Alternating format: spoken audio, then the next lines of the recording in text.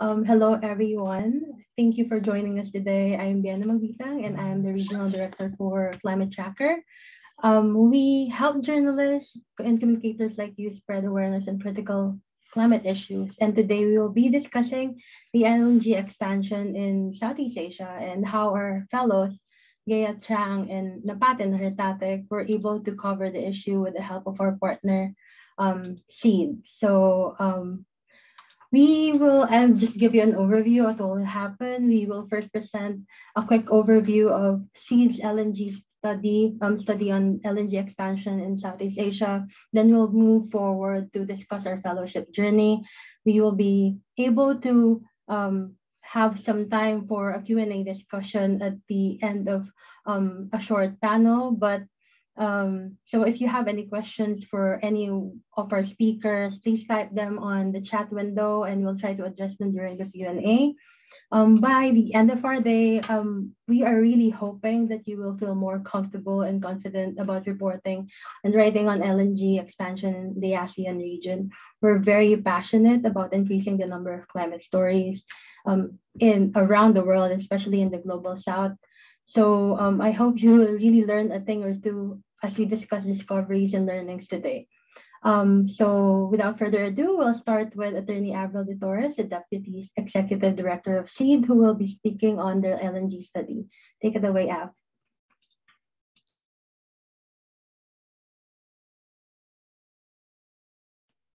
Thank you, Biana, and good day to everyone. First of all, I want to thank Climate Tracker for inviting CEED to this exciting community hangout with journalists who are covering stories of LNG expansion across Asia. We are honored to get this conversation going by sharing some key findings of a report that we pu published last month. It's entitled Financing a Fossil Future, Tracing the Money Pipeline of Fossil Gas in Southeast Asia. So this report examines the state of fossil gas projects and investments in Southeast Asia in the years after the Paris Agreement was adopted in 2015 and at the start of this critical decade for climate action. It identifies the top developers that are promoting the gas industry through various projects across the fossil gas and LNG value chain and the financial institutions that are bankrolling these projects, whether through loans, underwriting services, and investments. So the financial transactions covered in this report were intended for project finance. And for those that were intended for general corporate purposes, limited it to those transactions involving developers whose businesses are limited to fossil gas related operations. Um, and as you can see here, we are glad to have several other civil society organizations in Southeast Asia and across the globe that are working on energy finance um, endorsing this report. We started the report by painting this unfortunate picture of Southeast Asia's challenge of confronting a fossil future to locate the, the significance of tracking who are the developers and financiers of this industry. What was coal's last bastion just a few years ago is now swiftly turning into Asia's fossil gas and LNG hub. Governments, power companies are promoting massive gas expansion plans under the guise of development. So right now, the region is confronted with 138 gigawatt of new gas-fired power plants and 118 LNG terminals being proposed or are already being constructed in the region today. This is a major challenge for climate vulnerable Asian peoples, given the very small window that we collectively have in avoiding runaway climate change in this decade. So in this report, you'll find spreads of the companies driving fossil gas projects um, during the post-Paris period, that's from 2016 up to the first quarter of 2022 we also ranked the top developers of projects in development, which means um, those that are proposed or already under construction. You'll also find in chapter four the top financiers or those fueling these fossil gas and LNG projects in the region, both post Paris and for those that are under development currently. So I just wanted to show these spreads so that you can quickly check the report if you want to know who are the top developers and financiers um, in the region. But for the sake of time, uh, let me jump to the main findings of the report. First, Vietnam and the Philippines are building the biggest gas-fired power capacities in the region in terms of capacity. If all planned gas expansion of um, 138 gigawatt uh, capacity in development is built, Southeast Asia's gas-fired operating capacity will more than double. Vietnam leads the region's planned gas expansion with 56.3 gigawatt in pre-construction and construction stages or in, in the development stage. The Philippines follows behind with 29.9 gigawatts in development. So SMC Global Power, the Philippine conglomerate, is leading this expansion with 14.1 gigawatts of proposed projects. And this already accounts for half of the planned gas expansion in the Philippines. But if we look at this in terms of projects um, built, since Paris, Indonesia and Thailand top the list. Uh, first is Indonesian state-owned PT Perusahaan Listrik Negara or PLN, followed by EGAT or the Electricity Generating Authority of Thailand, which um, owns two in five power plants that have been built and proposed in Thailand in the last uh, six years. As for midstream projects, we are observing aggressive LNG importation build out among otherwise LNG um, exporting countries like Indonesia and Malaysia, which are now experiencing depleting supply.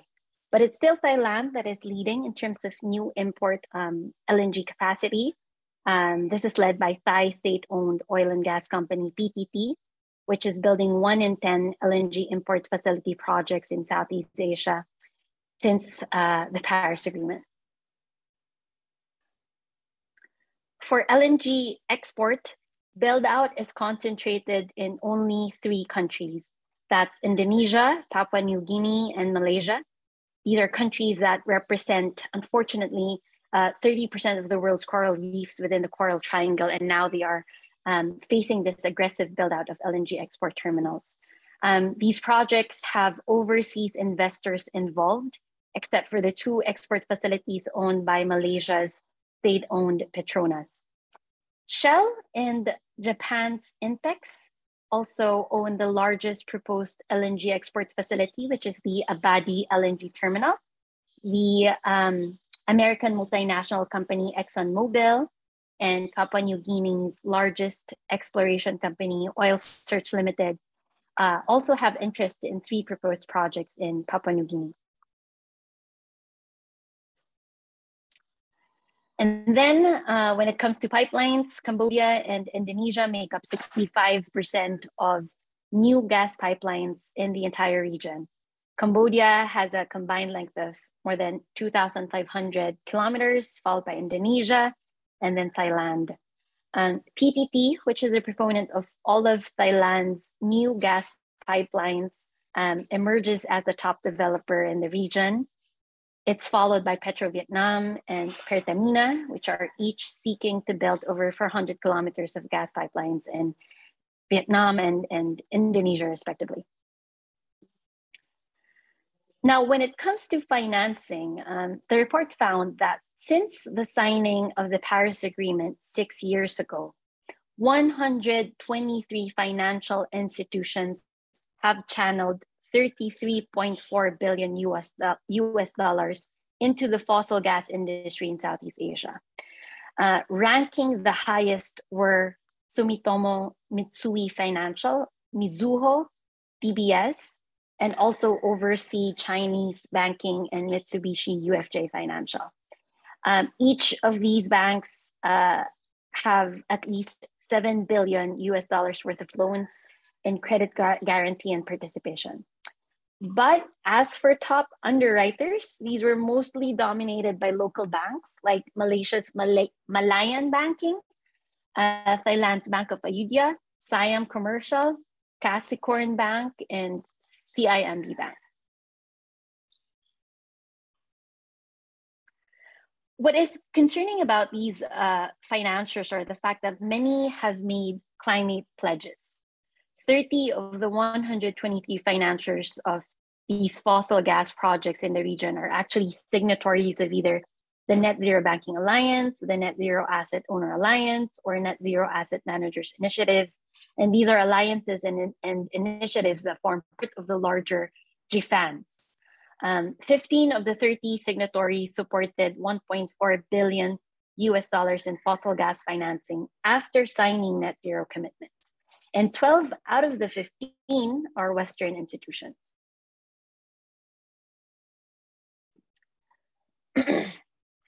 Post Paris, the top five fossil gas financiers consist of banks from countries that are dependent on fossil gas for electricity.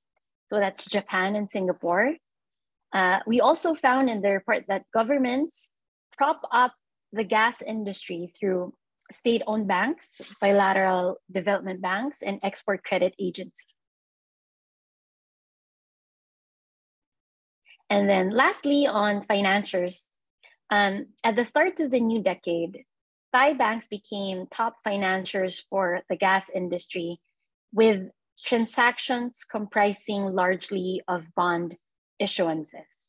So um, in, in total, we found that bond issuances uh, that funded gas projects almost equaled that of loans and credits. And this made glaring that it is now more imperative to close loopholes in fossil fuel pledges that cover only direct loans or credits to fossil gas projects. So before we move on to recommendations, uh, I think it's also worth noting that in chapters five and six of the report, we discussed case studies of highly contested and reputational risk projects uh, in the Philippines and, and Thailand. And I think for those who are interested in, in, in covering these stories, it would be um, good for you to also look into those chapters of the report. So to end, we have three broad recommendations um, after finding who are the top developers in financial institutions, um, driving and fueling uh, a fossil future in the region. First is adopt a Paris aligned policy that pursues a 1.5 degree Celsius pathway, knowing that every degree matters. We specifically recommend the P1 scenario of the Intergovernmental Panel on Climate Change's special report on global warming of 1.5 with no false solutions. Um, we've detailed uh, here what we think that means from full prohibition um, to setting disclosures and, and, measurable targets. We also made um, a distinction uh, regarding the critical roles of regional development banks and local banks in adopting a Paris aligned um, policy. So here you can see um, regional development banks with mandates on encouraging economic development, providing both financial support and technical assistance for developing countries. We think that these banks should be leading the adoption of the most ambitious Paris aligned energy policies and strategies to finance the necessary energy transformation in Southeast Asia. The most ambitious policy for us means that there should be no financing for new fossil gas projects and for all companies engaged in fossil gas expansion projects. As for local banks, they should align financial flows to rapid uh, and just transition pathways that are in accordance with their own country's fair share in the 1.5 degrees Celsius Paris goal. Um, and this should prohibit financing for new oil and gas fields. And then for our last two recommendations, we mentioned how there, these banks should withdraw and prohibit financing for fossil gas projects that violate human rights, endanger critically important and biologically diverse ecosystems and habitats, and pose grave reputational risks. Um, Finally, there should also be disclosure of all financial services that are provided to this industry, and the bank should adopt the full recommendations of the task force on climate-related disclosures to support, this, to support its shareholders and its stakeholders in appropriately assessing and pricing these climate-related risks, and to ensure that the overall effects of climate change become routinely considered in the business and investment decisions. So this is where I'll end. We hope that this study will provide energy transition advocates, academics, NGOs, communities, um, and, and, movements uh, a region of wealth um, in, in the region, um, a wealth of, of data and analysis on who to engage um, and put pressure on as we confront this challenge of a fossil future. Um, and we are very grateful to all of the journalists covering the stories of fossil gas and LNG expansion across the region. We hope that um, we'll hear more of these stories and we'll have more of these stories covered. Um, if you want to read more, you can visit our website, ceedphilippines.com, and download the report. Thank you so much.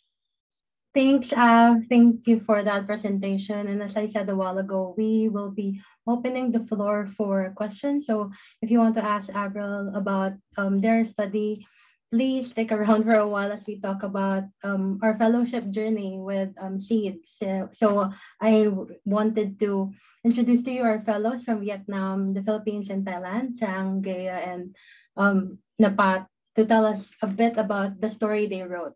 So Trang, let's start with you. Oh, hello everyone. I'm Chang, journalist based in Vietnam, and I'm commuting on a shuttle bus right now. So sorry for the noise, and I might have lost my connection somewhere. So I have to apologize first.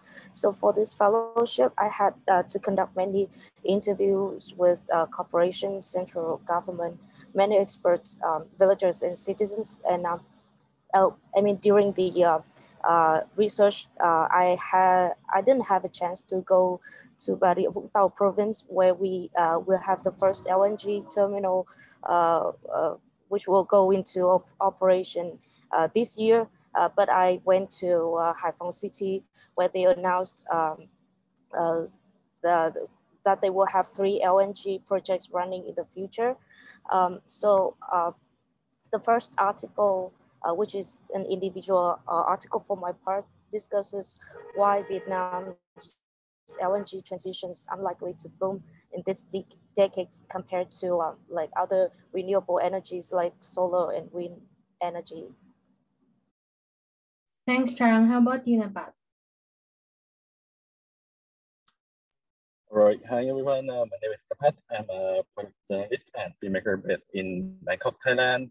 So yeah, uh, let's start with my, as I am a photojournalist, so I took a photo for this project as well. So yeah, the photo that you are looking, well, so let's zoom into the area where I started my article. This is Chana district, Songkhla province, the south of Thailand. And this is the area that has over 100,000 residents and they mostly conduct agriculture and local fisheries. However, like this area is imperial because since 2019, the Royal Thai government has introduced Chana Industrial Modern City of the Future, which will convert over 26 million square meters of coastal land to the industrial estate. This will probably impact the local coastal community and also the, their way of life. For example, Dulam, the traditional fishing technique that use the because uh, they're gonna use like their ears to locate the fish south to, to do like a fisheries. And this technique is going to be disappear like uh, if the project is successfully constructed in this area. So without a proper public hearing by the government, this creates tensions between them and also pushes the local resident outside of the development equation. So yeah, that is the story that I wrote in my individual article. Yeah. Um, so definitely we'll hear more about their articles, but how about you, Gaea? Tell us about your individual story. Um, hello, everyone. I'm Gaea Cabico. I am a climate and environment journalist based here in the Philippines. So for this fellowship, I wrote two stories about the LNG expansion in the Philippines. So the first article discussed the LNG landscape here um, in our country. Um, it's some sort of follow the money.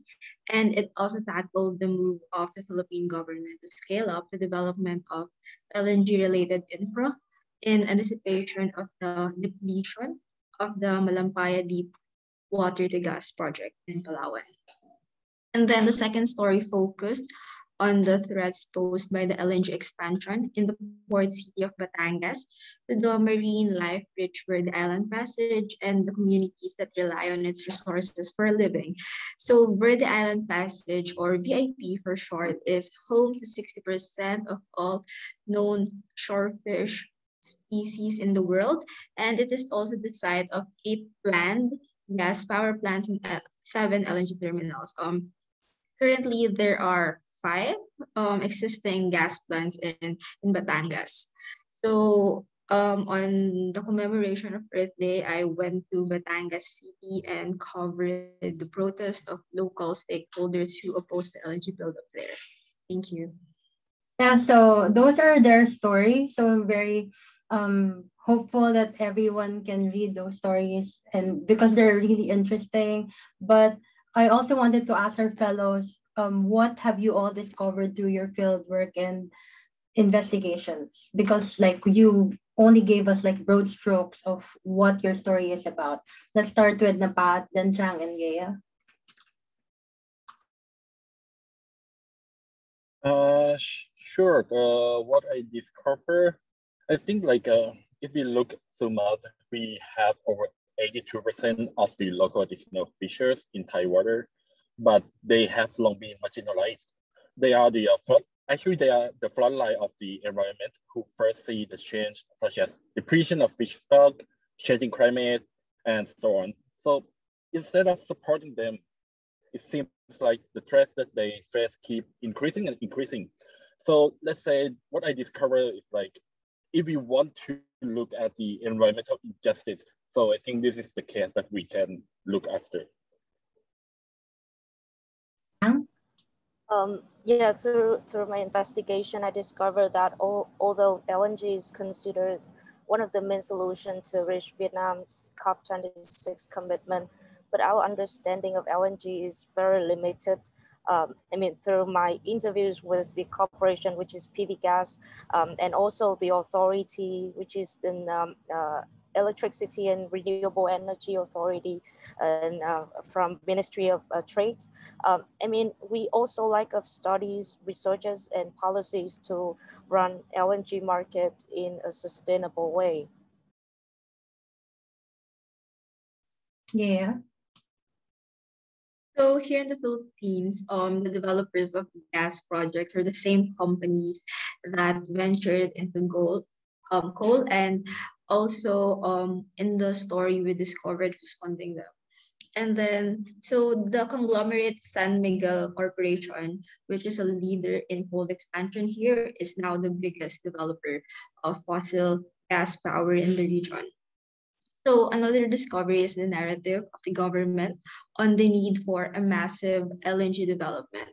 So according to the Department of Energy, uh, the aggressive development of both renewables and natural gas, they call them, but um, some people want to call it fossil gas, um, is required to meet the country's goal of ensuring um, energy security and transitioning into the utilization of sustainable energy sources. So gas has been pitched um, as a bridge fuel that can support decarbonization efforts. However, um, climate and energy campaigners stress that aggressive LNG expansion will not actually facilitate the transition to cleaner energy sources, but will it. As CEED mentioned, it is um, a detour um, to the road to renewable energy. And I think it's also the same for Indonesia. We actually have another fellow, Hartatek, who can't who cannot join us unfortunately because she has prior commitments. But her story also kind of like touched on the narratives of the gov- government and their response to the LNG buildup. In her story she actually highlighted how the abundance of natural resources for Indonesia is both a blessing and a curse in a way that the country's fossil gas reserves actually ranks 14th in the world, but due to poor management, there are really major environment impacts and like just like how in the Philippines they're actually keen on pursuing fossil gas. And having said all this, what do you think this this means for your country's energy transition, Chang? Um, well, well, the, the development of LNG thermal power projects, well, including LNG terminals and factories, well, on the one hand, had uh, the positive effects uh, such as contributing to energy security, uh, creating jobs for uh, local peoples and contributing to increase the income and GDP. But of course, on the other hand, it also has uh, like potential impact on the marine environment and the coastal communities in the long run. Um, so um, coastal projects can cause major changes to the onshore and coastal ecosystem, including with seagrasses, coral uh, fish, uh, due to wastewater, solid waste, uh, air pollution, and so on. Uh, but the problem in Vietnam is that we doesn't know about the impact. We don't have any studies or the uh, environmental impact assessment um, in the long run. So is this problem is not highlighted in the media. And I think it's the same for Thailand, right, Napat? Like, what do you think in this, you know, um, lack of resources and research could impact um, and mainstreaming can impact your country? So let's say, uh, let's say with the uh, mainstream media that cover this story, because even though like uh, this already happened in another part of Thailand, but like they still not cover this story yet. So let's zoom out, like talk about the, uh, the example that's already happened in Thailand about the LNG expansion in, and industrial expansion. Uh, let's say it doesn't only happen in the South Thailand. In the article, I also mentioned the area that has been destroyed in the east of Thailand, which is Rayong province, where it's home to a large industrial park focuses on the petrochemical industry and LNG expansion, which already uh, reaches the area capacity. So, so it's like uh, they cannot like add more LNG to this area.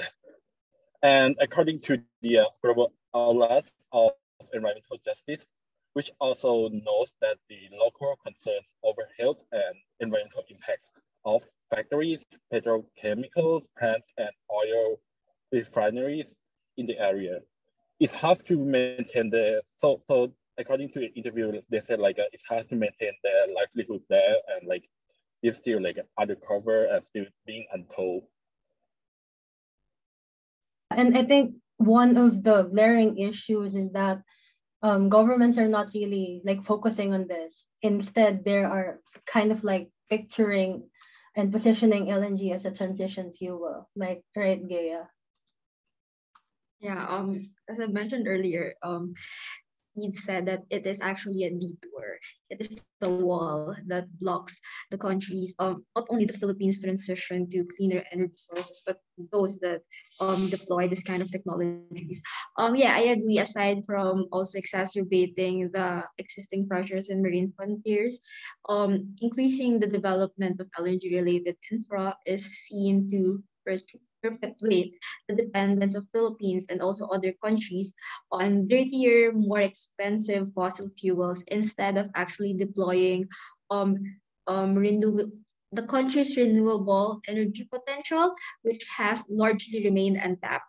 So another problem with LNG is that it is primarily composed of methane, which is a potent greenhouse gas.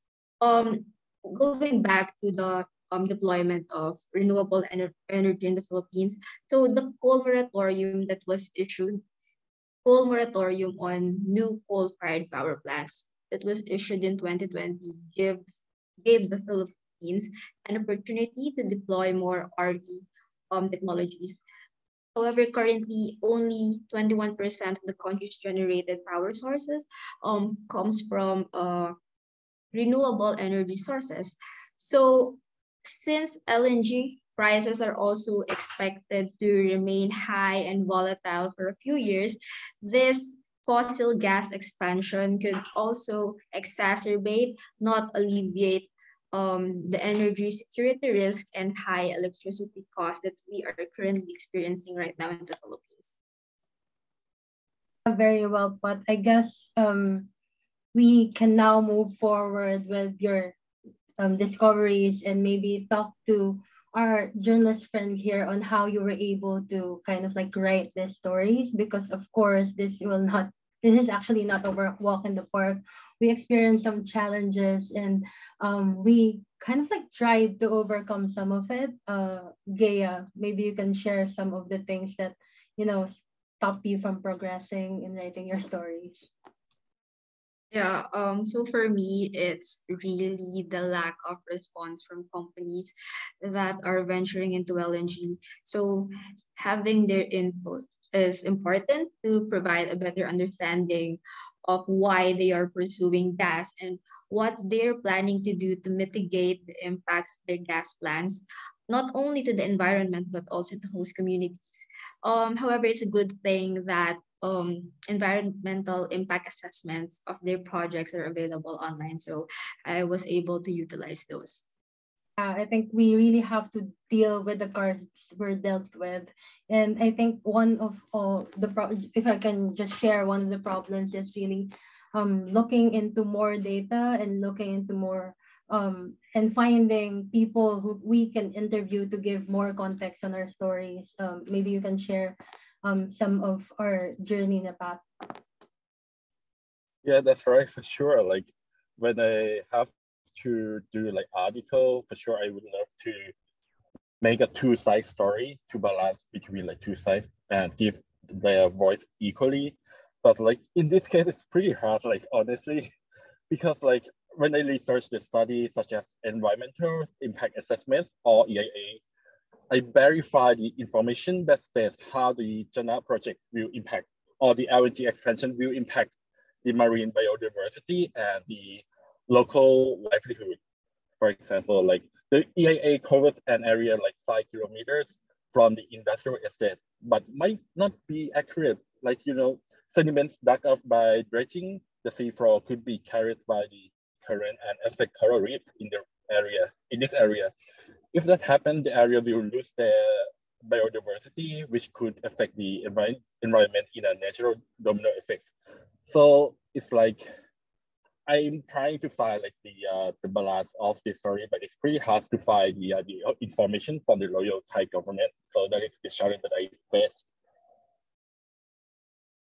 Uh, like lack of scientific research and data impacts. We also face that in um, our article for Indonesia because not many oceanographers conducted research on the long-term risk of fossil fuel to coastal ecosystems. But aside from lack of resources, I guess it's also good to highlight that we have to consider the media landscape in each country, like how, and especially in Vietnam. So can you tell us how you were able to report and how how everything um, happened for you, Trang? I think I had a lot of, uh, I'm sorry for the darkness. Uh, I, I had a lot of challenges to go through this fellowship because like LNG is like very Vietnam and I experts and uh, like uh, company re representatives or even representatives from uh, authority and um, um, and and also in Vietnam like in the media landscape in Vietnam it takes a long time to uh, for the, the government and the uh, state-owned company uh, to uh, respond to the uh, information request form process. And not to mention like the National Power Development Plan 8 is, uh, is under the revision of our Prime Minister right now. So it's like no one is going to talk about it because we don't know for sure like what is the proportion of um, LNG in the, the overall nas- uh, national energy sources. Um, and also it's uh, so it's hard to comment about it. And also, um, and another point is that we have like very few environmental journalists who care about um, these issues, especially, I think no one is going to draw a relationship between uh, LNG expansion and um, its impact on marine biodiversity and coastal community. Yeah, and having said that, we actually, that's why we had a problems on connecting this to marine ecosystem because we embarked on writing um, a collaborative project, a collaborative um, article on in summarizing the impact of the LNG projects to uh, of the region to marine biodiversity in Southeast Asia. So um, maybe you can explain further, Gaea. Yeah, sure. Um, so we chose the impacts of gas plants on the marine life rich waters of Southeast Asia as the cent central theme of our collaborative article because Southeast Asia is largely a maritime sub-region in Asia and the LNG power plants and of course terminals are built on coast um, in Verde Island Passage in the Philippines, in Thailand's Chana district, in Indonesia's Bali. Um, so Southeast Asia is also nestling the Coral Triangle, um, which is a reef network that spans Indonesia, the Philippines, Malaysia, um, and other islands in the Pacific, um, also East Timor. So Coral Triangle is known for its outstanding marine biodiversity. So we really wanted to explore how the gas plants in Southeast Asia will affect um, the coastal and marine uh, ecosystems in our home countries, how it will worsen the current states of this water, waters, and how it will affect the livelihood of fisherfolk and million others who depend on these waters as much as we don't want to this to be kind of like a rant session, but we want to kind of like explain to the journalists here um, how we were able to really flesh out this story. So um, we tried to talk to marine biologists and also scientists, and maybe Napat and Trang can share some of the things they discovered and some of what they learned from their interviews. Trang? Uh, yes, definitely. So because LNG sector is um, kind of like emerging in Vietnam, so it is necessary for us to learn from other countries like Thailand or like Philippines who have like a long time running this market. And um, also because we lack of like uh, policies for uh, environmental impact assessment, um, to like evaluate the uh, negative impacts or like the positive, even the positive impacts of uh, LNG projects on the ecosystem and also the community. Um, so I think like uh, from my interviews with experts, uh, we recommend uh, they recommend that it is necessary to uh, develop a specific uh, environmental impact assessment guideline framework for LNG power projects. Napat? So uh, actually, there's two. There are two things that I learned from the interview. The first thing is is like it's questionable because when you have when they have like to do the uh, mega project like the big project, why they have to be like the lack of transparency issue. Like for example, like when they want to conduct the uh, coal power plant in the South Thailand, they said like they have only like five species in the mangrove, which is like it, it doesn't work that way. Like uh, when when the local researcher go to that area and it's like they found like a lot of species in that area. So I think the issue is might be the uh, the transparency issues. And another thing is like that I learned for the interview.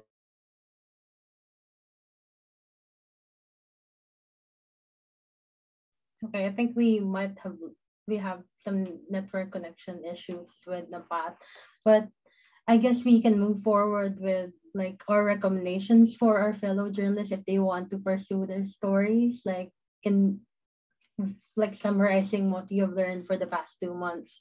How do you think other journalists can actually develop and follow up and LNG stories further? Gaea. Um, yeah. So maybe we can start um, by reading um, reports about not only LNG but other um, energy sources, such as this one published by CEED on LNG. Um, so I had a lot to do. I, I had to do a lot of reading and research since I'm not really an energy reporter. So my work is really focused on the climate environmental impacts and then of course, the people on the periphery and on communities. So aside from that, I think other journalists in the Philippines um, uh, can follow LNG stories since the Philippines is one of the countries uh, that is leading Southeast Asia's plant gas expansion, as mentioned by CEED, and many of the projects are still in the development stage. And I think it's really important that um, journalists follow updates on these projects, even if these undertakings are still in pre-construction stage and report on the projected impacts or the compliance of the proponents with environmental rules and regulations. So um, there are a lot of stories about these projects um, that will affect many communities here in the Philippines, not only those that are near Metro Manila. Um, and we have to tell those stories. Thanks, Gaea. Napat, um, hopefully you're back. Maybe you can share some best practices, tips, and tricks. Oh, yeah, sure. Sorry for my internet connection. Uh, for me, like, uh, yeah, for sure, we are developing country. So let's say that there's still a lot of work to do. And if we zoom out to a larger picture, there are still a lot of development projects waiting to be implemented. So if we still run on the same route, there will be a lot of issue, like social issue, environmental issue that we can cover. So let's zoom into my story. I don't know if uh, coincident or not, but like, you know, like the Thai government just announced that they will continue the uh, project, including LNG terminal last week.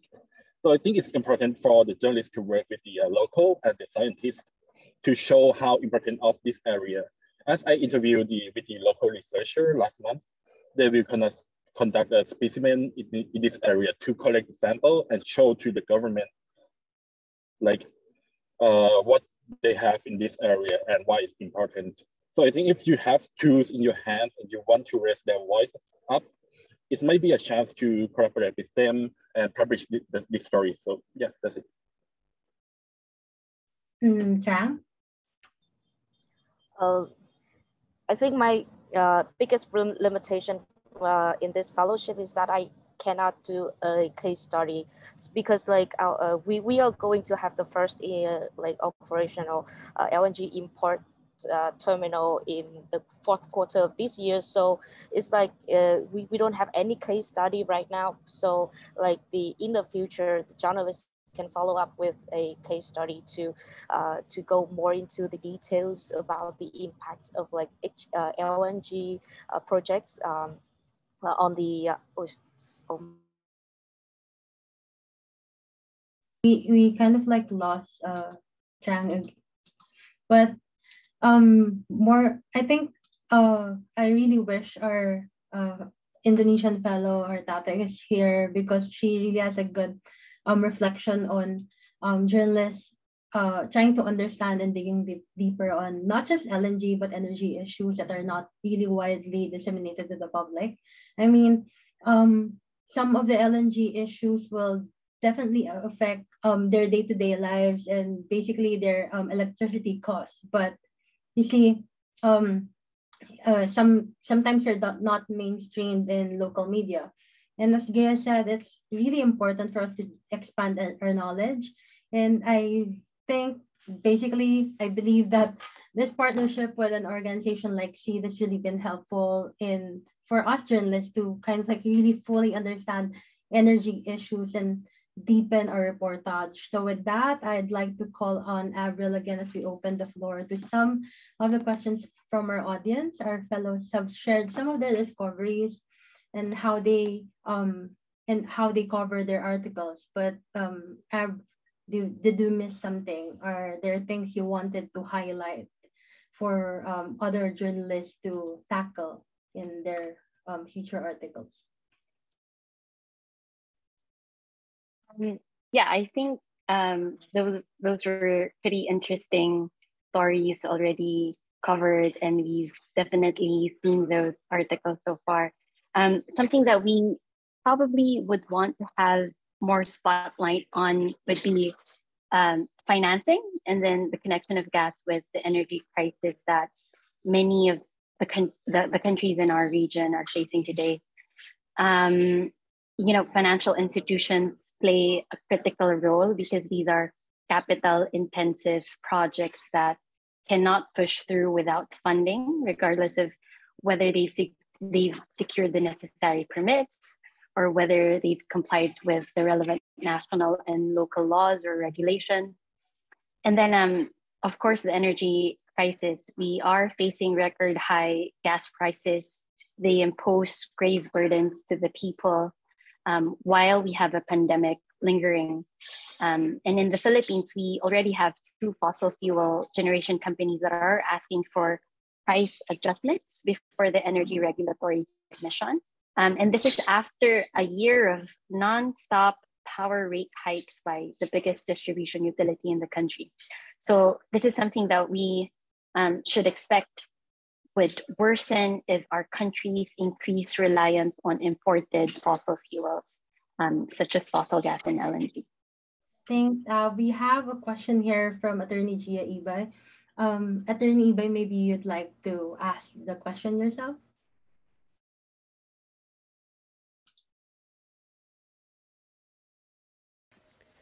Hi everyone. Um, yeah, thank thank you for for for all the fellows and and I guess congratulations for getting your articles out. Yeah, I just wanted to cross check. I wanted to ask um if you were able to talk to any of those in the communities where these LNG plants will be located or are now being constructed, and how were you able to get them to speak? Oftentimes, when you talk to the communities, they have a bit sometimes misgivings or um, apprehension of speaking. Um, but um, once they've done so, um, what what did you realize, or what did they even realize from having to express those thoughts? Yeah. Thanks, Attorney Gia. We actually had problems with um, uh, communities in Vietnam, but we were able to tap uh, coastal communities in the Philippines and Thailand. Gaea, maybe you want to start. Um, thank you for the question, Attorney Gia. Um, so, uh, for uh, for my my reporting on uh the LNG expansion, so I focused really focused on the um Verde Island Passage in Batangas, and then I also focused. Um, I also wrote a story about the planned um, gas plant in San Carlos in Negros. Um, but um, I was lucky that I was able to really talk to the coastal folk in Batangas because I was there. I covered their protest um, on Earth Day, and they were really protesting um, the planned gas expansion in the city. So um, I'm really thankful that um, through the help of CEED, because um, they're in partnership um, um, with this uh, fisher folk group, I was able to talk to them. And when I, so it was easy because um the fishers are organized. Um, um they already know um what are the projected impacts. And when I talked to them, I realized um really how big this um expansion would affect them since for them Verde Island Passage is their lifeblood. It's where they get the fish that they sell. It's where they get the fish that um they eat, they serve to their families. So one of the fishermen that I was able to talk to said that life was good um before um Batangas became this hub of gas industries, kids, the universities. Um, but now he said that um, I think the um, fishers there are only able to catch um, two to three kilos um, whenever they venture out to fish. So you can see really um, the impacts of the existing plants. And they are really worried that once this proposed projects will be built, will be operational, um, there's this nice um, quote, and it's really heartbreaking quote from one of the fisher folk. He said that he is worried that his grandchildren may only know about the different types of fish in Verde Island um, passage through history books because he is um, really concerned that this um, gas expansion would affect, um, of course, it will affect because um, it will definitely affect corals, which are the habitats of fish. So he's really worried about um, his grandchildren not knowing about um, the fish in the area. Napat was able was also able to talk to fishermen in Chana district. Maybe you can share. Yeah, sure. There were like two communities that I talked to. Like the first one would be in the east of Thailand, where the area has been already like destroyed. So they mentioned that like during the construction or when they have like incidents, like last maybe like last two or three months, they have the uh, oil spill like in that area. So like uh, it's completely like affect their livelihood. Like uh, the fish got contaminated and like the population got uh, keep decreasing and decreasing, and it's gonna take around like five or six years to be recovered. And the another community that I talk would be like in Chana district. So it's like uh they said like in the past in 2003 or four, I can't remember the exact number. Uh, they said like there there was a project that construct the uh, trans uh, the trans joint like that convert like the the gas from the uh, from the Gulf of Thailand, and they will send that gas, natural gas, to Thailand and to the uh, Malaysia. So that during the construction, it's like totally affected livelihood, like by the the south construction, because like, as I said, like they conduct dulam, which like use their ear. So during the construction, they cannot hear anything, and the uh, fish stock like keep decreasing as well as I mentioned.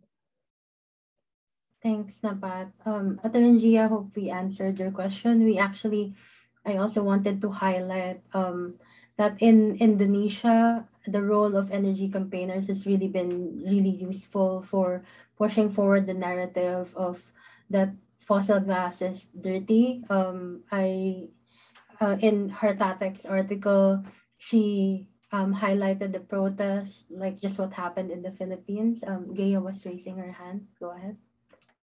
Yeah, um, I would also like to highlight since um, here in the Philippines, communities who are actually opposing projects, they are being labeled as anti-development.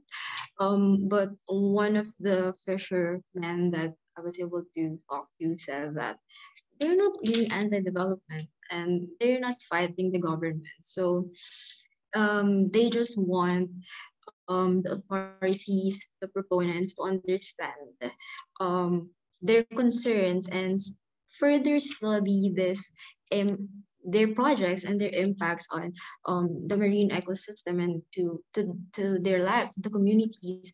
So, and he really made a good point that um, once Verde Island passage is further damaged, it will not, I mean, the ones will be affected will not be only those living in Batangas, but also others and other other Filipinos in other provinces. So really um the impact is really um huge. Thanks, Gaea. We have another question from I, I don't really uh know. Maybe you can uh, tell your name to us, Neve. Neve, yes. Hi. Yes, hi. Hi, Neve. Hi. Where are you? from? Sorry? Um, where are you from? Where? Uh, I'm I'm an investigative reporter from Israel Palestine. I'm uh, originally from Jerusalem, Uh, I've been dealing a lot with fossil fuels, and I have the privilege to lead, uh, be part of a group that is leading an international investigation. And I just, uh, regarding fossil fuels, and I just wanted to, I, I, was just writing, it just takes me time uh, to uh, give a few insights from our investigations regarding fossil fuels. So I'll try to be really, really quick and short. And then there's also my question, but I would just like to, to say that uh, environmental impact assessment we find is not enough, of course. You need to look at all aspects. Uh, a lot of times there's also a lot of interests in the environmental impact assessment. uh, hidden and external uh, economical costs are a key to a clear narrative. You have to remember that when you look into LNG, there's a whole life cycle of LNG. There's tankers, there's pipelines, there's terminals, there's pipelines and, and stations that are taking it out to the different regions and places. All of this has a huge environmental and also equivalent economical impact. That this is something that would help you create a more clear narrative that people would understand the costs of these projects. Um, evaluating the whole life cycle of LNG is very important. Uh, it's also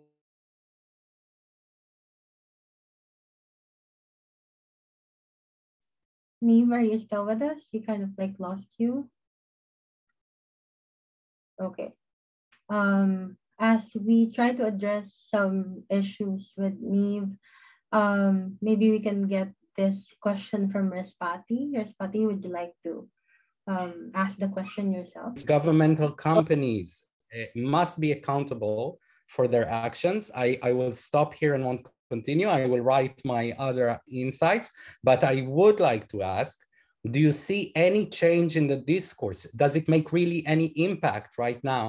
The coverage, the stories you're bringing, can you, can you see any difference? And do you have any hope that you can maybe stop some of it?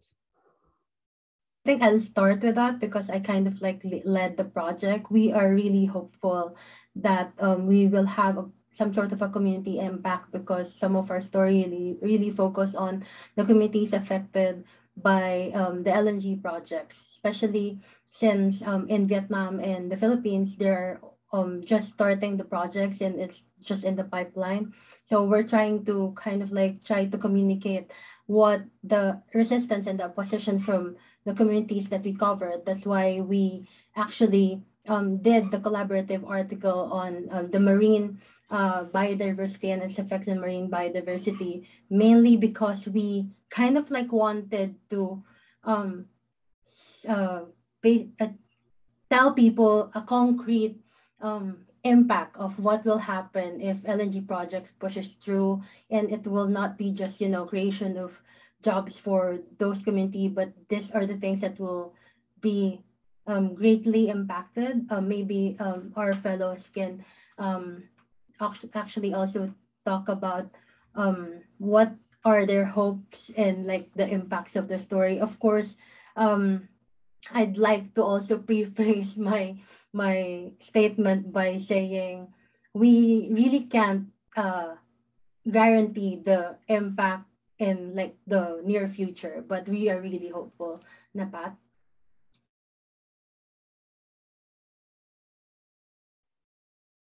Sorry, uh, sorry, can you repeat the question again?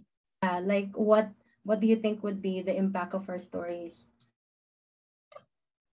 Yeah, I think it's it's just a part of the voice that uh, that we brought from the local community who got impacted by the uh, project. So I think it's just a part of the uh, of, of the story. So like I think my point would be like just keep doing the work and like as I said, like this project is still like continuing by the local government. So like it might be better to like to cooperate with the local scientists and also with the local community and local residents to raise their voice up again and like to keep pushing this story. I think that's that's it. Well, I think uh, uh, I, I also agree with Napat that it is not the problem of like one or two articles uh, to like have a big impacts or like to change something. Uh, but like in Vietnam, I think um, uh, before we have any solutions, we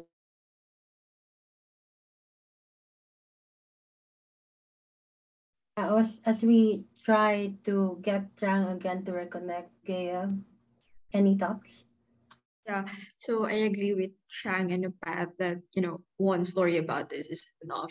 So we really have to um, do more stories about um, the LNG projects here, um, not only here in the Philippines but also in other countries, since most of the projects are still in the development stage, uh, pre-development stage. So we really have to scrutinize those projects, their impacts, um, as I mentioned earlier, um, how they comply with their environmental rules and regulations. And also, I think, um, of course, we want our stories to have an impact because that's what we're, that's one of our jobs as journalists. But I think here in the Philippines, since um, uh, the shift to LNG has only begun recently because we're a big um, coal country. So I think it's nice that um, we're kind of introducing this topic, um, introducing um, how um, it will affect um, not only the energy security, if, if you know, in a negative or positive way, if there is any that, or and then how it will impact communities, of course. So it's um, this work that we're starting right now, I hope that other um, journalists can also, you know, pick up so that um, we will be able to do a more comprehensive reporting on LNG projects and their impacts. Yeah, and to wrap that question up, I guess um, that's why we're doing this community hangout to share what we have been what we had experienced over the past two months to be able to like you know encourage more journalists to write on this topic and for them to you know learn a thing or two from our discoveries and our you know missteps and also challenges that we had over um, this fellowship. Um i guess uh, we have a time for like this last question from. Patty. Um in Indonesia government communication about LNG development to public seems to be utilized at this time media hardly tries to criticize the government. Um, what about in the Philippines, Thailand, and Vietnam? I'll um, start with, I guess, um, as you know, we now have a new government in the Philippines, and um, press freedom and media in our media landscape has really been um, depleting, I guess. So uh, maybe Gaea can um, build on that. You're muted, sorry. Yeah, so you know, we just elected a dictator, and it's not a really good. It's not a good thing for um um the press here in the Philippines. Um, it's going to worsen. Um, uh, we we have seen it worsening under Duterte, and it's it is um feared that it it will actually get worse. So how much worse we don't know. um, so um but yeah, I think that even if we have this new um, president, this new government, I think that um, journalists really have to keep on, you know, doing their job, which is to inform, um, challenge the government narrative, um, in, um, put pressure on erring officials, you know, erring companies um, yeah, I think um, we just have to keep do- doing those things, and in that, that way, we're going to serve our um, audience. In the spirit of um, truthfulness and fact checking, I just like to correct Gaea that we elected the son of a dictator, just so no one will come back to us and say uh, we most misspoke. Yeah, yeah, yeah. Sorry. so, uh, Napat, how about you?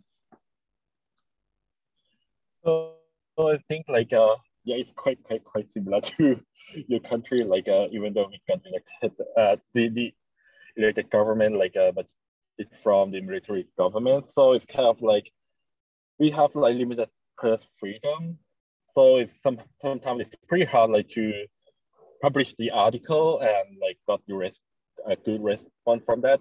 like for example, if I publish this article in the last last year, like the comment might be full of like uh fake account like on Facebook, for example. So I think that but however, like uh I think keep working and like doing like a uh, to raise the voice of the uh, local residents and local scientists, like uh, whether which platform you are, like uh, maybe it can be local media, it can be international media. Just find the key, find the angle, and like try to push as much as you can. I think like that's that's the key. Like for me personally, just keep working on that and like keep inspire like other the new generation I put uh, especially put Trang in the last because I guess media landscape in Vietnam is different. So maybe you can share a thing or two about it. Yeah, I'm sorry for uh, I, I lost the connection and finally we stopped somewhere and I have like more stable internet. Um, like the media landscape in Vietnam is maybe many of you know that uh, we are uh, owned by, uh, we are influenced by the uh, government. So, um, so like anything we put on the news, we have to go through like the like government's check. So, um, um, so so it's I I, I think it will be um, uh, I especially at this time after we have that COP26 commitment. So uh, like the uh, uh, the articles will most articles will have to go with the um, like with the trend that the government is setting for the country so uh, but but it's not like we cannot raise like the um like the opposites uh or, or like the diverse uh opinions uh so but um i think for LNG uh, projects uh, in Vietnam. It's um, it's, it's like um, it's the new thing. I asked uh, the citizens, villagers, and even researchers. They are very like reluctant to answer. So they will ask me first, "What is that?" And then um, so like the uh, lack of awareness and lack of understanding is our first problem and and so that's why i think maybe researchers, uh, experts uh, should be the one who uh, who care about it first, especially like for ones who doing the uh, conservation, who doing the environmental protection. Um, uh, well, well, they they will have to like draw the uh, like like the uh, one of our guests say that uh, we have to, to, to, to see the bigger picture, like the, the, the total life cycle of LNG and as well as other uh, new energy in Vietnam. And it will be a long, um, it will be a long term uh, because it's just one year, like nearly one year after we made that commitment. And, and of course, there will be a lot of changes in the policies in Vietnam. And so it, it, it will also changes in the way that the media in Vietnam will care about the um, uh, like the envir environmental issues, especially energy related issues, because I'm seeing that uh, we have more uh, environmental journalists uh, and we have more environmental um, uh, articles in the news right now. Uh, before, like few years ago, we may have like very few um, articles uh, like speaking about uh, marine pollution or um, I mean, very few articles, but we have more uh, people, more presses uh, raising voices uh, for this, um, um, for the oceans and like to, um, and, and, and also another point is, is that uh, our government, especially the prime minister who made the uh, COP26 uh, commitment, uh, he also asked the other, uh, like the Ministry of Trade to revise the um, the, the national power plan in which LNG should be um, like adjusted. So that's why we still have to wait until uh, it is finalized. So uh, there's there are many things to discuss right now, and I I, I will have to conclude this with just a saying from an expert that is actually for the uh, in Vietnam we are stepping like the energy path, the new energy path, like we are driving a car but we don't know the destination. And we just like driving the car and then we're checking the map and then we're fixing our road map and then we're just going. So yeah, that's how we are right now. Um, very well put, Trang. I think um, that's a very fitting end to our discussion. Um, and we and with that, we actually have our work cut out for us because um, after this, we really have to like follow through and develop more stories on the energy transition in Southeast Asia. Um, and that's all we got for you today. Thank you for joining us.